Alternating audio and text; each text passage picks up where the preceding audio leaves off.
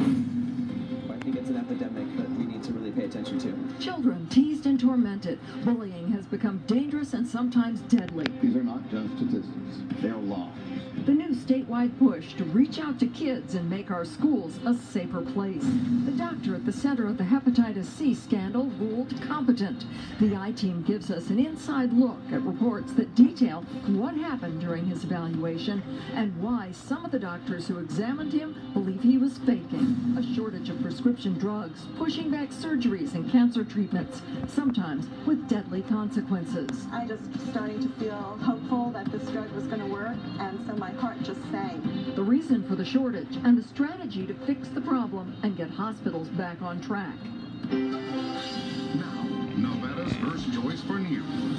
This is Channel 8 News Now at 11. Good evening. Dave has the night off. Educators, parents, and students met tonight to combat a growing issue in our schools bullying.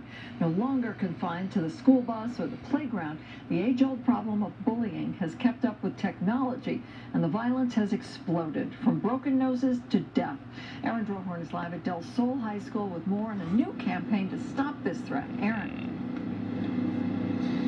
That new campaign is called Flip the Script. The goal is to make schools places where students can learn free of fear.